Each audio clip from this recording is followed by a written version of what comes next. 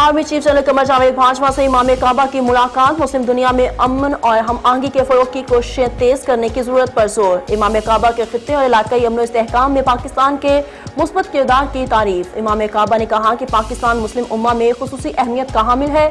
خطے میں امن و استحکام کے لیے پاکستان کا کردار قابل تعریف ہے۔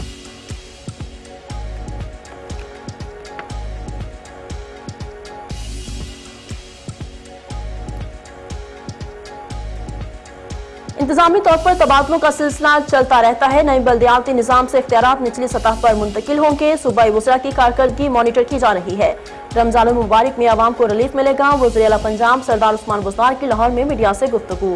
کہا، فیاض الحسن چوہان ہمارے بھائی ہیں، دوبارہ آئیں تو بتا دیں گے۔ آئین اور قانون کے مطابق کام کریں گے۔ جو افسران کام کرے گا، وہی ہماری ٹیم کا حصہ ہوگا۔ فیصلے، سیاسی قیادت اور عمل درآمد بیوروکریسی نے کروانا ہے۔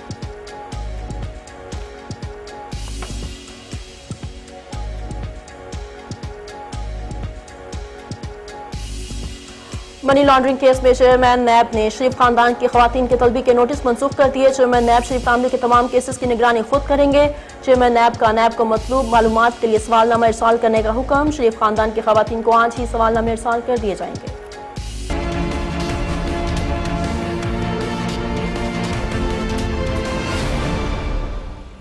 ہیڈلائنز آپ نے جانی، روز نیوز سے فی الوقت اتنا ہی۔ مزید خبروں اور اپڈیٹس کے لیے دیکھتے رہیے روز نیوز۔